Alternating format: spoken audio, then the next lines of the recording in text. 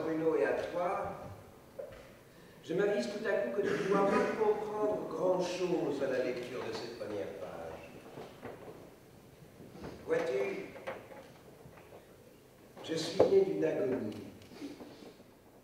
Mon père était un de ces innombrables morts vivants rendus par la Grande Guerre à la vie civile. L'esprit saturé d'horreur, les poumons détruits par les gaz allemands, il a vainement tenté de survivre. Je suis né de cette tentative. Ma mère avait entrepris de sauver son mari en me concevant. Un enfant lui ferait plus grand bien. Un enfant, c'est la vie. Elle l'a suffisamment requinqué pour que je fasse mon apparition le 10 octobre 1923. Sur quoi mon père est aussitôt retombé en agonie. Ma naissance n'ayant pas ressuscité son mari, ma mère m'a considéré d'entrée de jeu comme un bon à. Et elle m'a abandonné à lui pour les dix dernières années de sa vie, qui furent les dix premières de la mienne. Or, j'ai adoré cet homme. Je ne savais pas qu'il mourrait, bien sûr. Je prenais sa langueur pour l'expression d'une grande douceur, et je l'aimais pour cela. Et comme je l'aimais, je l'imitais en tout, jusqu'à faire de moi un petit moribond idéal.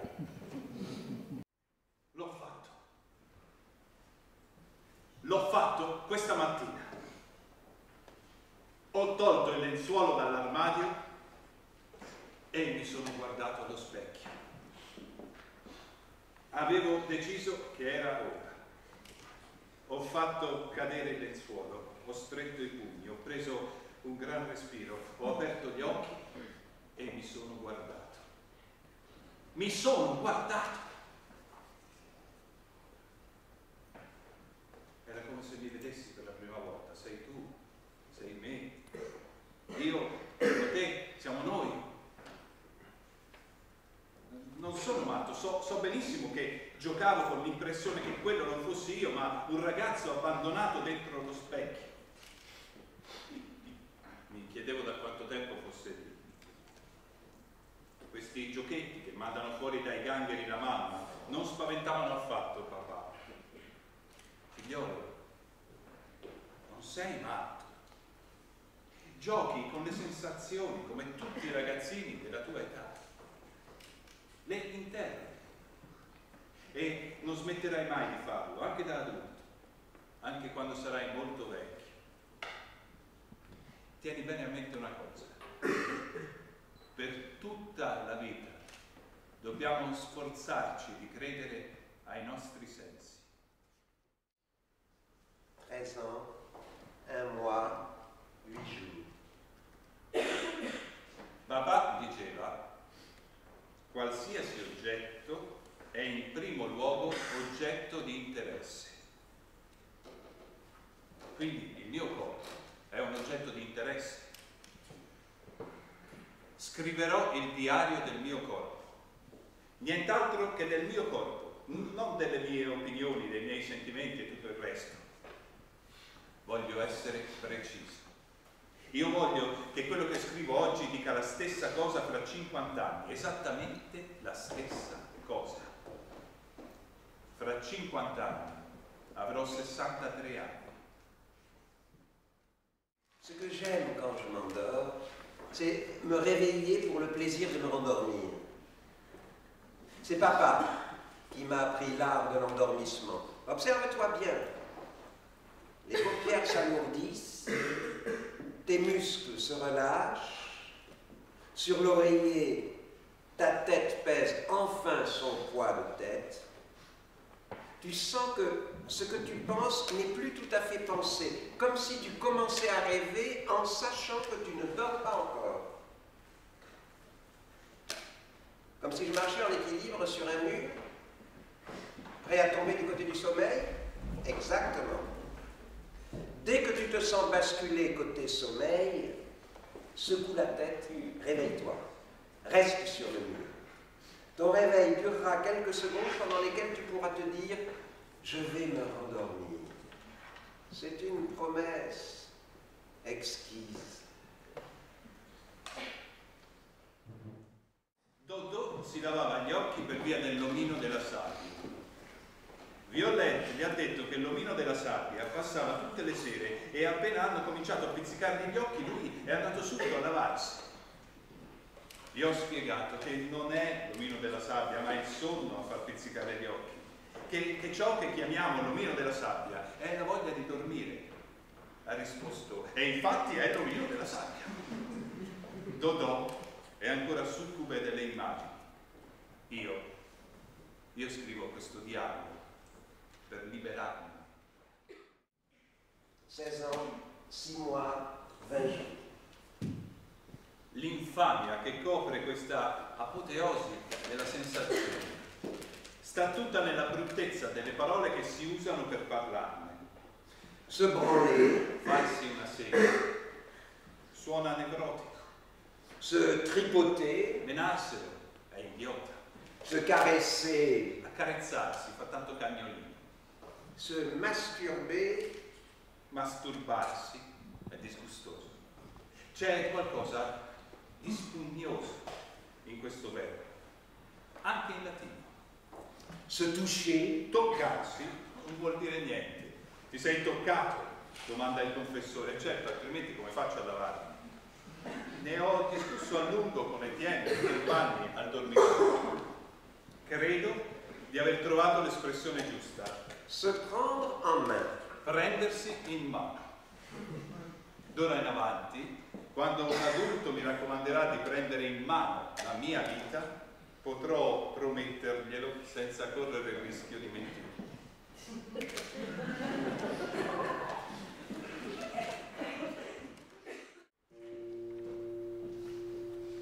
Violaine est venue cette nuit dans ma chambre. J'étais en train d'écrire ce journal. Elle avait mis sa chemise de nuit, un organdi blanc ou un tissu de ce genre qui laissait une épaule nue, une fine bretelle nouée sur l'autre épaule, un petit nœud dont les boucles semblaient des ailes de papillon. N'a pas dit un mot. Elle ne souriait pas. J'ai vu sa main droite monter le long de sa poitrine, saisir l'extrémité de la petite bretelle qu'elle a dénouée, et la chemise est tombée à ses pieds, de tout le poids du tissu, dévoilant son corps nu. Et je ne pense pas que je verrai jamais plus joli corps de femme livré soudain dans la lumière de cette lampe. Mon Dieu, quelle beauté, quelle beauté. Elle est allée s'allonger sur le lit. Elle ne m'a pas fait signe de venir. Elle n'a pas parlé. Elle n'a pas souri.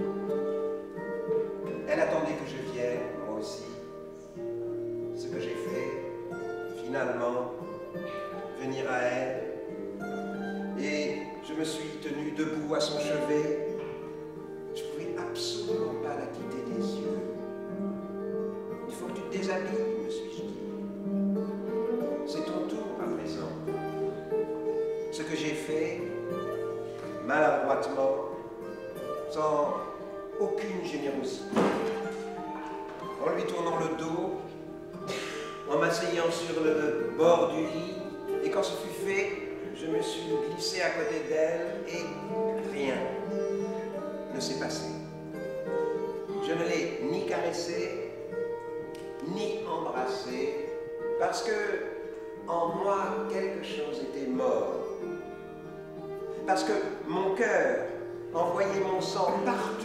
sauf là où il était attendu.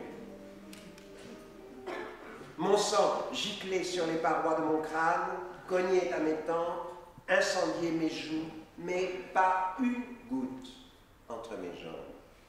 Rien entre mes jambes. Je ne me disais même pas, tu ne bandes pas. Je ne sentais rien entre mes jambes. Une débauche lexicale pour nommer cet appareil génital que le physiologiste répugne à représenter.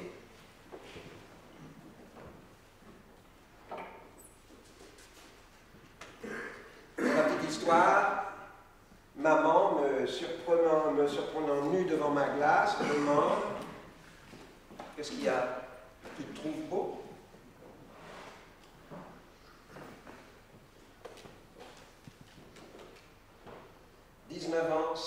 16 jours, lundi de Pâques, 26 avril 1943. Fermantene e due tizi sono passati da casa per reclutarmi.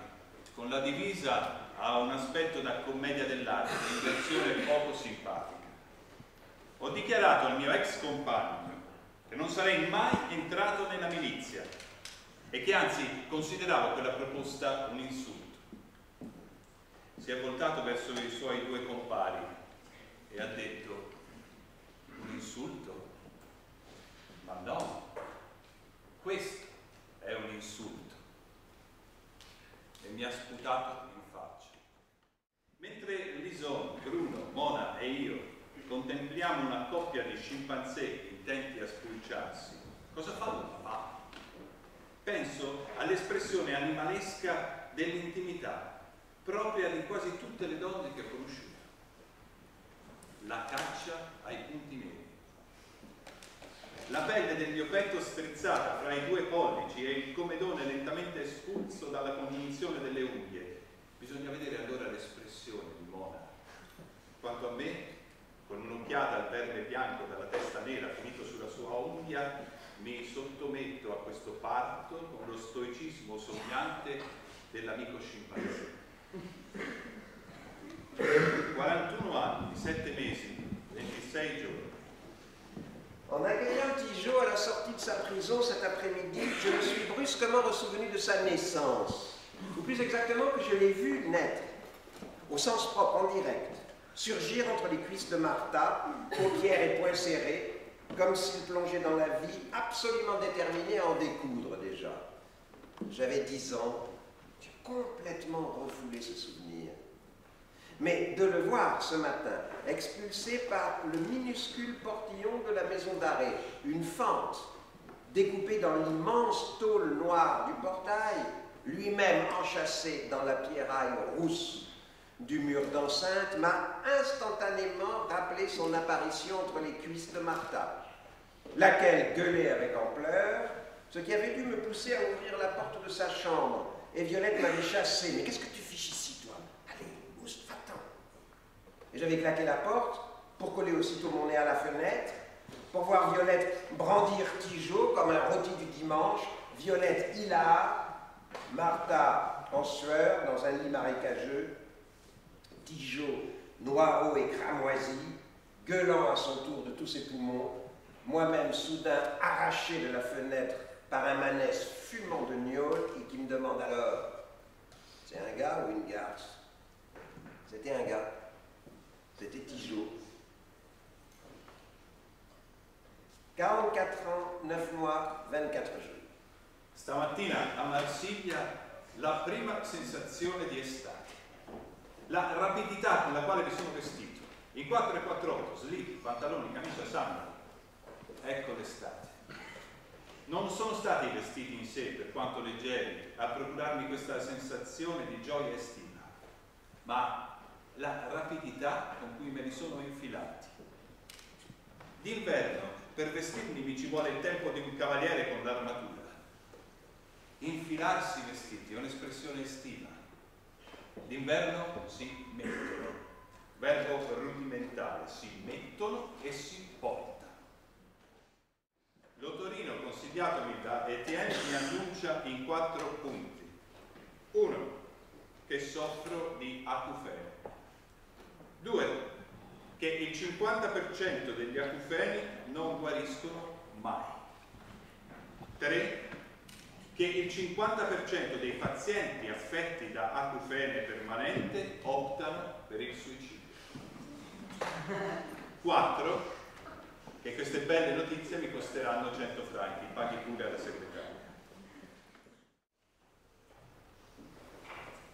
53 anni, 7 mesi.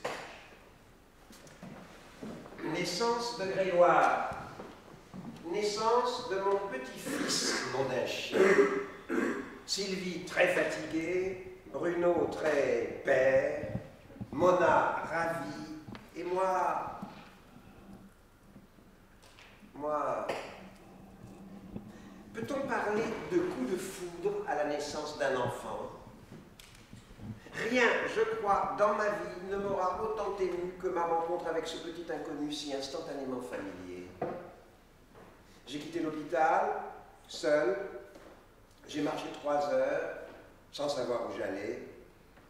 Cette impression persistante que Grégoire et moi avons échangé dès son apparition un regard décisif, signé un pacte d'affection éternelle. Est-ce que je deviens gâteux.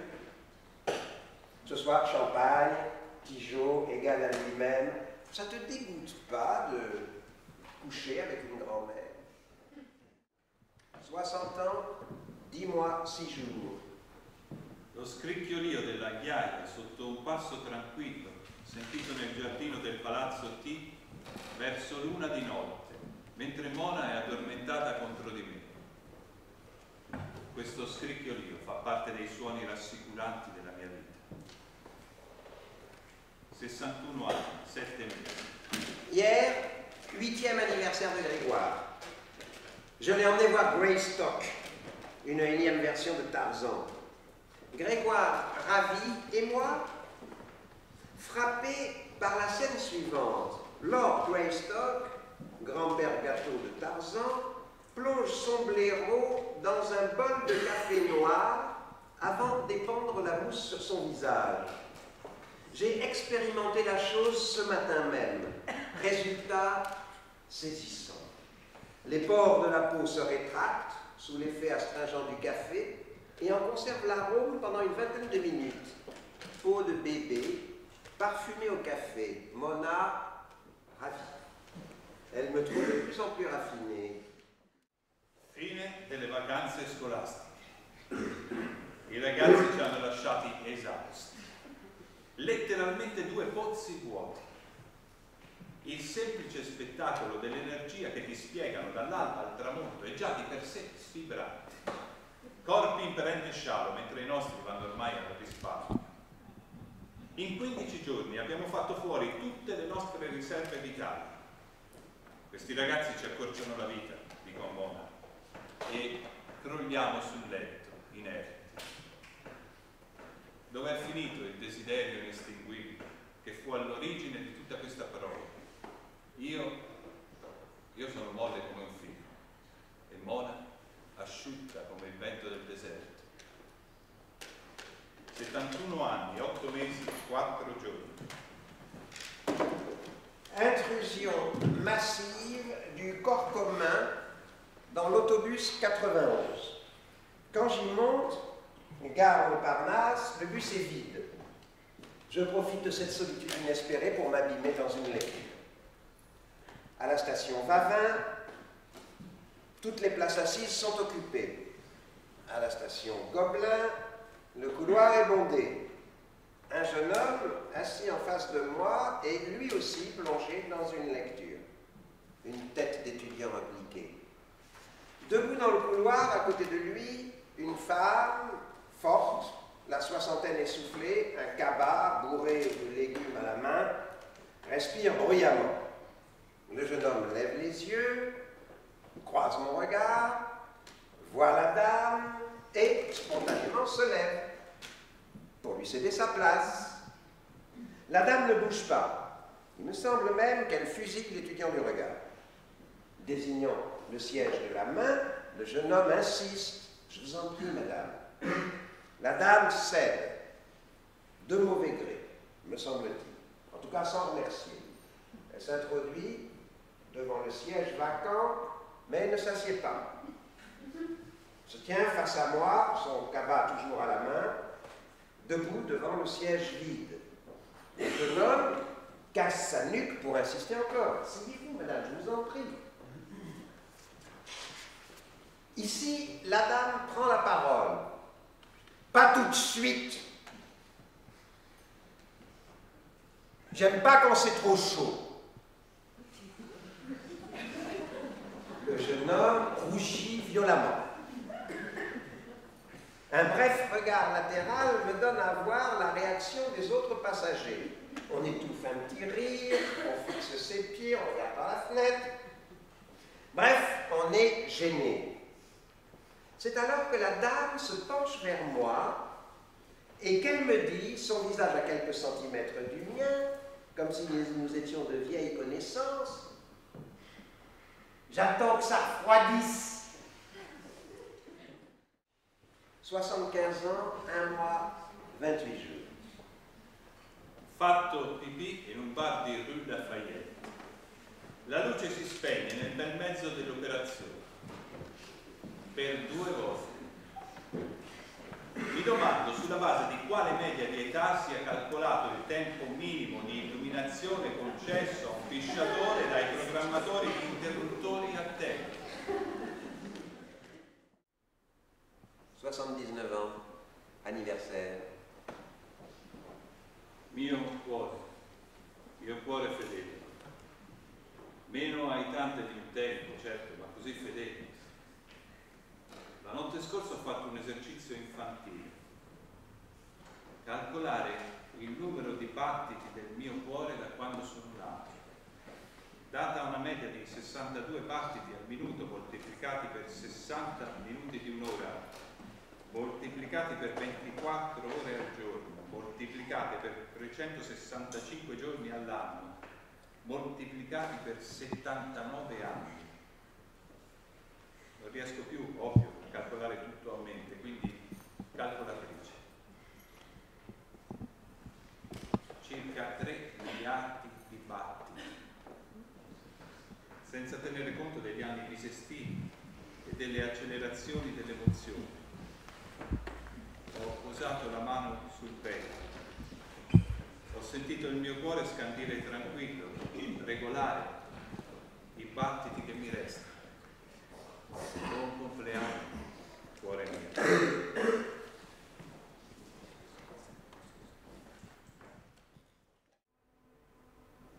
Je ne me remettrai pas de la mort de Grégoire. Le deuil pour seule culture j'ai développé un chagrin solitaire, immense et colérique.